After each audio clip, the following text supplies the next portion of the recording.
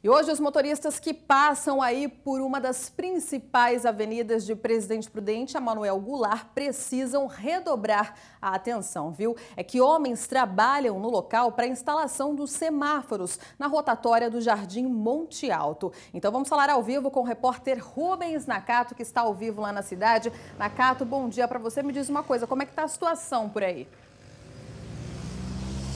Bom dia, Jéssica. Bom dia a todos. Só fazendo uma correção, anteriormente eu tinha falado radares. Na verdade, como você bem disse, são semáforos que estão sendo instalados aqui na rotatória do Jardim Monte Alto. A gente conseguiu contar ao menos 10 aparelhos aí que já foram instalados aqui, que em breve deverão entrar em funcionamento, viu? A gente esteve por aqui um pouco mais cedo, inclusive a gente tem imagens aí, né, dos homens trabalhando, os homens da Semave aí trabalhando para a instalação desses semáforos né, que vão entrar em funcionamento né, e eles estavam ali fazendo os últimos reparos ali, né, na parte de cima aí desses semáforos para colocar então esses postes aqui, né, onde vai ter toda essa sinalização aí para melhorar o fluxo de veículos aqui no local, o trânsito aqui no local. Agora a Semave informou o seguinte para nossa produção, que a concessionária de energia ainda tem um prazo aí de 20 dias para fazer as adequações, né, de toda a parte elétrica aqui, para ir depois eles começarem a fazer,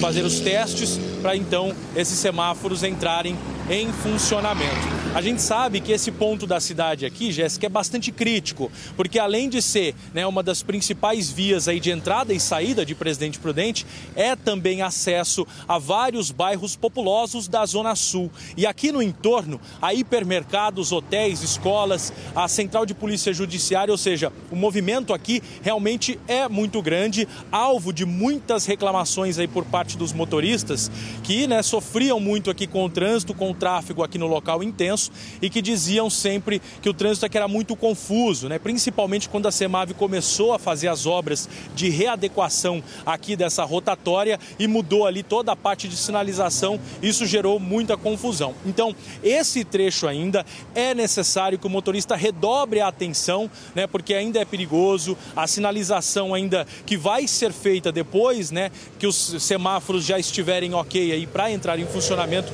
ela vai ser feita também no solo e verticalmente, então os motoristas precisam ter muita atenção para não se envolver em acidente aqui nesse trecho da cidade. Jéssica.